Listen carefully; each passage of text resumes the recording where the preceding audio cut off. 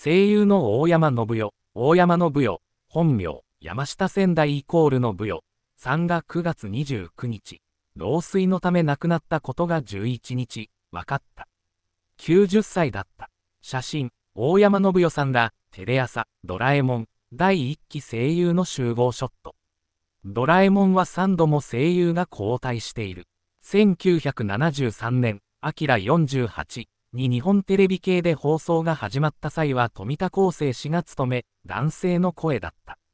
同年のうちに野沢雅子に交代し、放送は1年で終了した。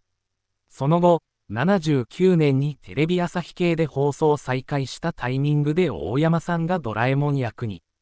5年までの長きにわたって担当、第1期したが、大病を患ったのを機に降板を決意し、現在、第2期の水田わさびに交代した際にはキャスト総入れ替えで若返りし、大きな話題を呼んだ。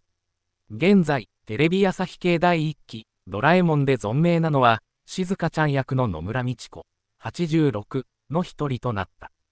ジャイアン役の立壁和也さんは15年に80歳で死去。スネ夫役の肝付金田さんは16年に80歳で亡くなった。のびのび太役の小原紀子さんは今年7月に88歳で亡くなったばかりだった。